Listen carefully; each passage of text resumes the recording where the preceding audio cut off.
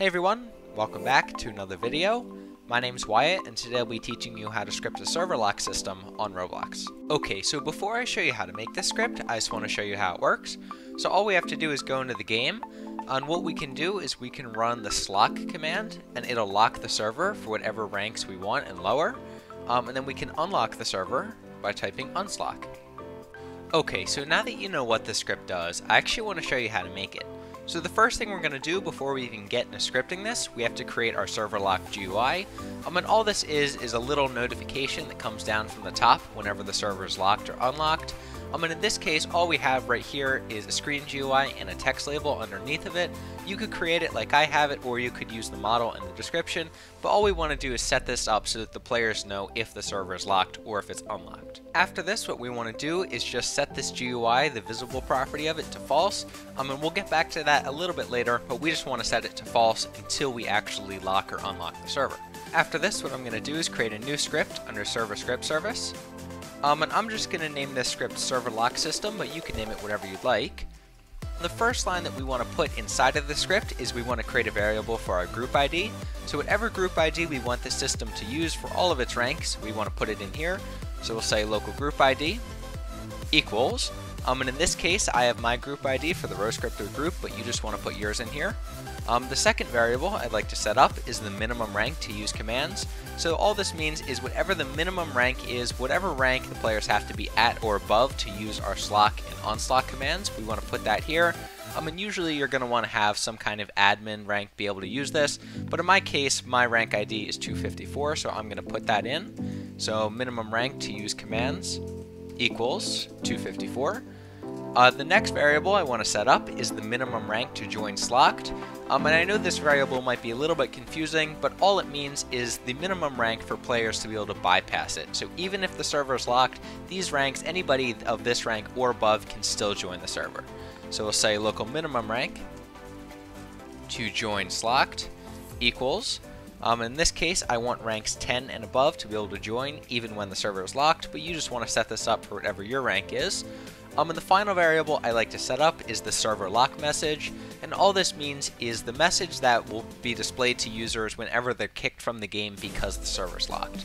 So we'll say local server lock message equals, and then in this case I want my message to say this server is locked, please join again later.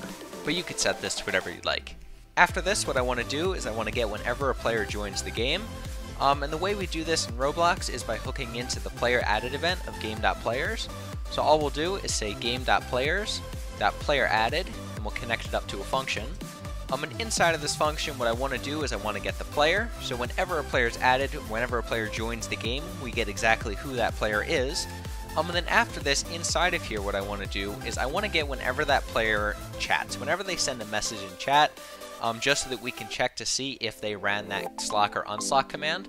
Um, and the way we do this is by hooking into the chatted event of player. So we'll say player.chatted, and we'll connect that up to a function.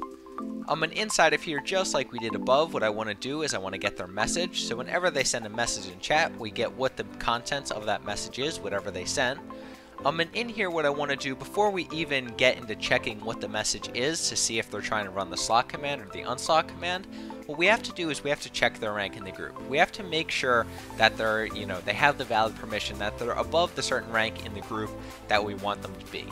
Um, so the way we're going to do this is we're going to say if player, and we're going to call the get rank in group method of player. So this allows us to get whatever their rank is in a certain group. Um, and in here, what we have to do, our only parameter is the group ID. So we say whatever group we want to grab their rank in. If that rank in the group is greater than or equal to, and then right here, what we're going to do is we're going to pass in our minimum rank to use commands, and we have our variable for that. Then, so if they have permissions, if they're an administrator, if they're actually supposed to be running the commands, then what we want to do is check to see what the command is that they're actually trying to run, what their message says. Um, and the way we do this, it's super easy. We're just going to set up an if statement. So we'll say if message is equal to, and then we want to say whatever we want the message to be equal to. Um, I want to say if the message is equal to our slock command or our server lock command.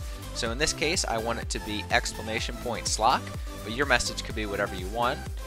Then what we want to do is lock the server. So we'll say slock server, and then otherwise, if the message is equal to unslock or our unslock command, then we want to unlock the server.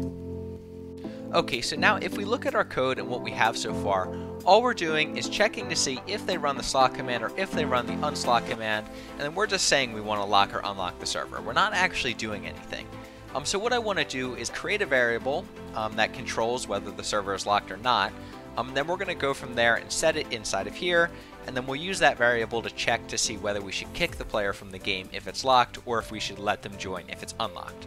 So all I'm going to do is I'm going to create a few lines after line 5, and I'm going to create a variable called server locked, say local server locked, and I want to set that to false to start because I don't want the server to be locked when we start. Um, and then over here inside on line 12, inside of this if statement, I want to say if we run the slock command, then I want to set that variable equal to true, so we lock the server. And then on line 15, wherever we say unslock, when we run that command, I want to set that variable to false, so we unlock the server. After this, what I want to do is I want to begin work on the mechanism that's going to kick them from the game if the server is locked and they're not an administrator. Um, so what we're going to do, I'm going to create a few new lines after line 19. Um, and over here, what I want to do is I want to check to see if the server is currently locked. If it is locked, then we want to get the player's rank in the group, and we want to say if they're not able to bypass the lock server, if they're not able to still join, or they're not supposed to still join, then we want to kick them from the game. We want to remove them from the game. Um, so all we're going to do, we're going to say if server locked is equal to true. So if the server is currently locked, then I want to get the player's rank in the group. So if player and we're going to call the get rank in group method of player.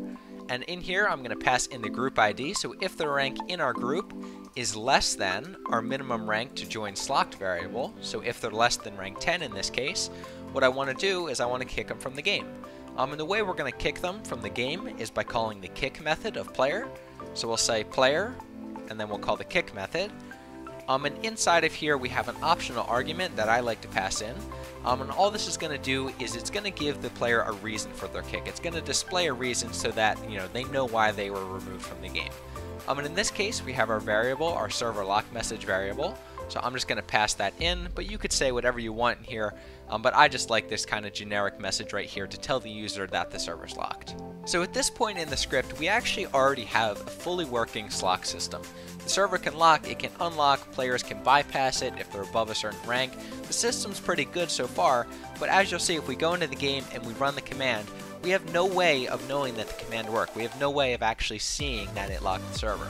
Um, so what we're going to do is we're going to utilize the GUI we created earlier, our server lock message GUI, and we're going to use that in order to notify all the players that the server is currently locked. Um, and the way we're going to do this is by looping through all of the players. We're going to set the visibility property of this text label to true, just like this, if we were to do it like this, and then we're going to set the message up here to either locked or unlocked. Um, so all we're going to do, I'm going to create a new line after where we set server lock to true. Uh, and the first thing we need to do is get all of the players in our game in an array.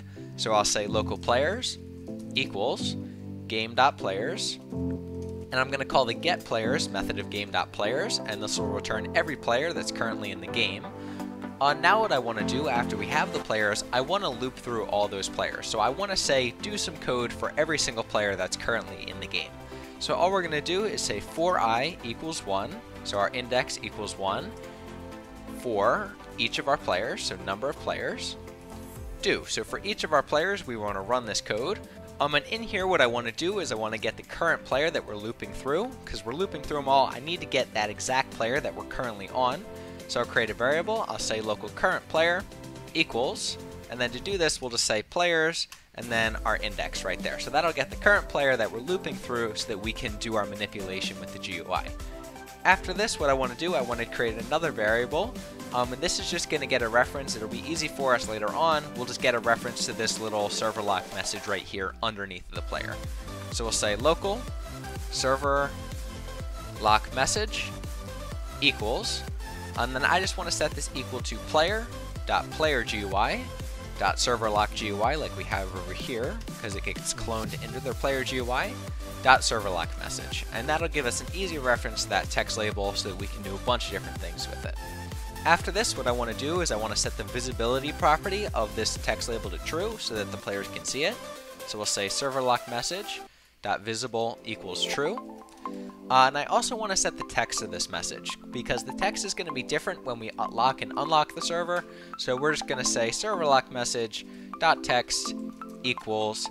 Um, and in this case, what I want to do is I want to set the text to maybe something like server is locked for ranks 10 and below because 10 is our minimum rank to join slot. So all I'll say is server is locked for, and then I want to concatenate, I want to add onto the string, I want to add on our minimum rank to join slot, like this, so ranks 10 in this case, and below, just to tell our users what ranks are still able to join even though the server is locked. Um, and then after this, the GUI would come up and it'd be really nice um, you know, to notify our users, but we don't want the GUI to be there forever. I want to get rid of it after maybe like five seconds. I want it to go away. And the way we're going to get rid of it is by saying wait, and then however long we want to wait before it goes away. Um, and in this case, I'm going to wait 5 seconds, and then all we want to do is to make it go away, set the visibility property of our message to false. Um, we can just go into the game once again to test this out, and as you'll see what we'll be able to do, we can run our command in chat, and rather than getting no notification, see it'll say servers locked for 10 and below, we wait a second, and then it'll go away. Now that we have this message set up for our lock command, we want to do the same thing, but for our unlock command. So all I'm going to do, I'm going to copy from line 15 for where it says local players, down to right here at our end of the for loop. And then I'm just going to paste it right after line 28 where we say server locked is equal to false.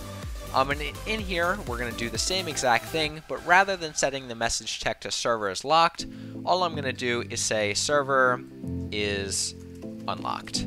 Um, and that's actually all we have to do for the script. We can go into the game real quick to test it out. Uh, and all we'll have to do is we type in chat, we're going to run our slock command like this. And because we're above that rank in the group, we'll be able to slock the server and the message will come up. Uh, and the message will go away after 5 seconds. And then we can unlock the server by saying unslock. Thank you so much for watching, guys. I hope you learned something new today about scripting on Roblox. As always, I'll have the Pastebin link with the code and the Roblox model link with all the assets shown in this video in the description, and I'll see you guys later.